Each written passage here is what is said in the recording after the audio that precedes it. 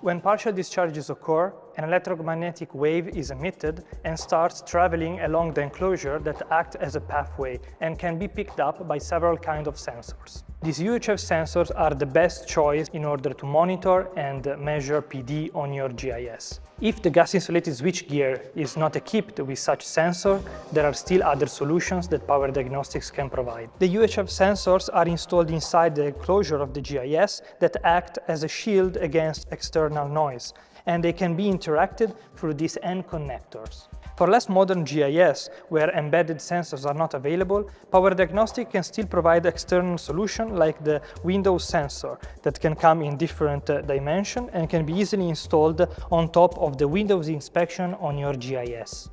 The second external solution that Power Diagnostix can provide is the external flange sensor that can be installed on unshielded portion of your GIS flanges.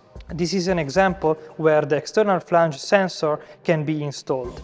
By removing this uh, small lid, you can position the EFS on top of it and detect the partial discharge signal coming from inside the GIS. At the output of the UHF sensor, there is the frequency converter unit, where the first signal processing happens and allows the transmission of the signal up to 80 meters. In the case of embedded sensors, Power Diagnostix provides also the input protection unit, whose scope is to provide further protection to the rest of the system from very fast transients that can occur inside your GIS. After the pre-processing unit, a coaxial cable carries the signal up to the acquisition unit, be it portable or permanent. And thanks to the plug-and-play nature of the GIS monitor by Power Diagnostix, you're ready to go and measure partial discharges.